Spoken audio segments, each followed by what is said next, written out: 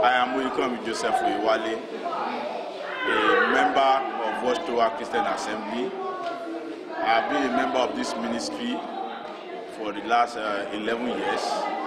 But more importantly, I am proud to be known as a son to our father, Daddy Samuel Adeleke Olayinka.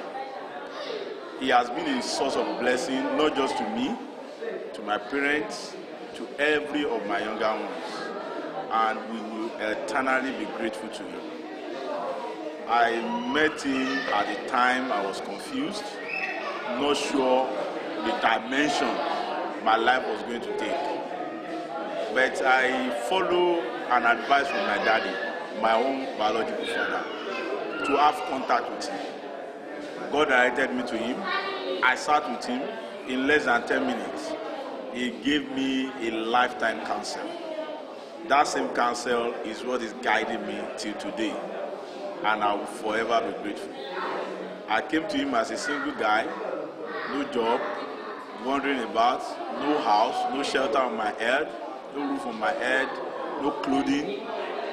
But through him, God turned my life around. I remember when every Tuesday, every Tuesday, he will have prayer meetings with myself and uh, Bro Shola, who is now a pastor in this same ministry.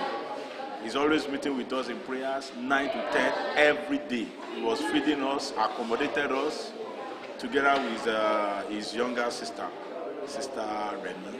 So, Daddy, on this occasion of your birthday, I want to use it as opportunity to thank you once again for everything you have done for me, my younger ones, my parents, my wife. And again, to wish you the very best in your ministry, in your home, in your family.